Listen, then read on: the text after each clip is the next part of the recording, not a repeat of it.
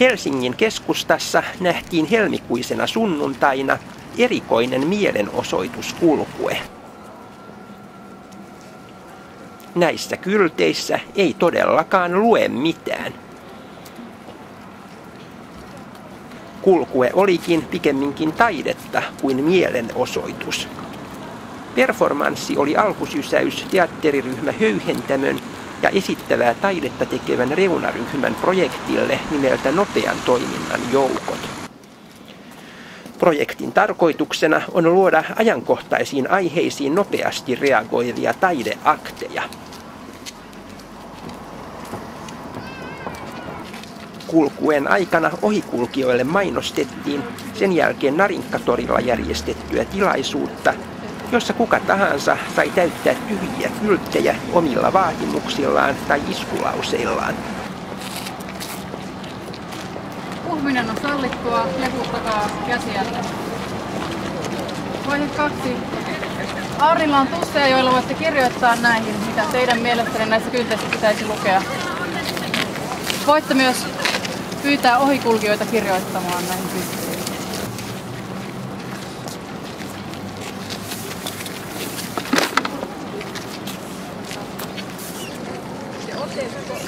Todellisuuteen todellisuuden joku ei.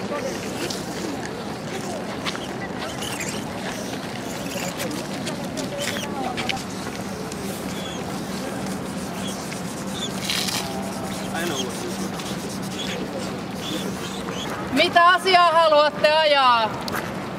Tulkaa kirjoittamaan kylttiin. Täällä on paljon tyhjiä kylttejä, joihin tarvitsee sanottavaa. Ajetuista asioista on tarkoitus kerätä materiaalia nopean toiminnan joukkojen myöhempään toimintaan. Miten tämänpäiväinen performanssi mielestäsi sujui? se oli ehkä mielenkiintoisempaa jollain tavoin meille osallistujille. Tai, tai oli ihan mielenkiintoista se, niin kuin,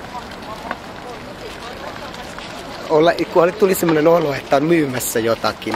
Että ihmiset on niin epäluuloisia, että eh, heti kun yrittää ottaa niin kontaktia tai yrittää antaa niille joku lappusen, missä niin, mulle myydään jotakin, mä en halua tota.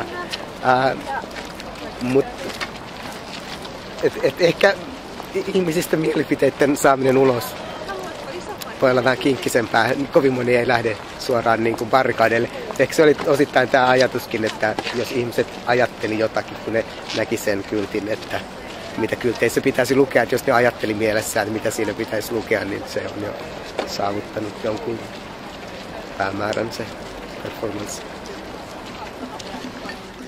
Oliko teillä jonkinlaista yhteiskunnallista missiota esimerkiksi saada ihmiset ottamaan aktiivisemmin kantaa asioihin, ilmaisemaan mielipiteensä? Oikeastaan mä luulen, että mä yritin pitää se aika puhtaana, että, että, että tässä olisi niin tämmöinen puhdas kyltti, mihin voisi laittaa oman mielipiteen. Me, me, meillä ei niin tässä meillä ei ole mitään asiaa, mitä me ajetaan. Pelkästään vaan se, että me halutaan tietää, että mit, mitä asioita muut ihmiset haluaisi ajaa. Oli, oliko vaikeaa saada ihmisiin kontaktia ja ihmisiä ilmaisemaan mielipiteensä?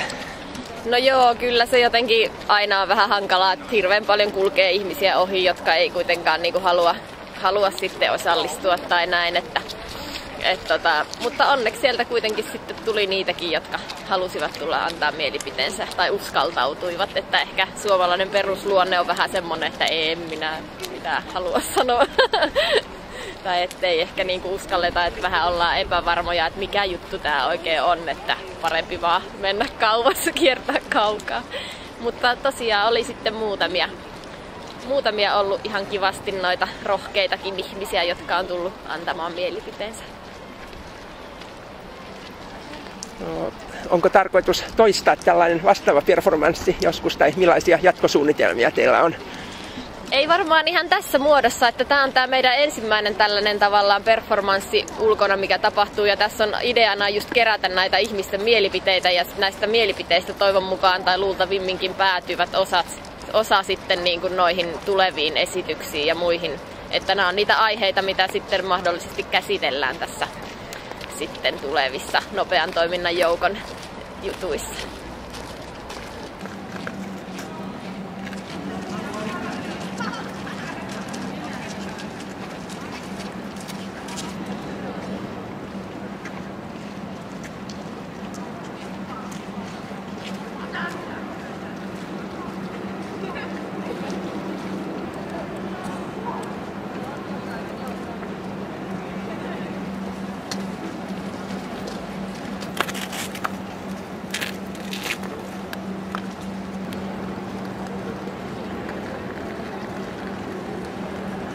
ね、20個ござい。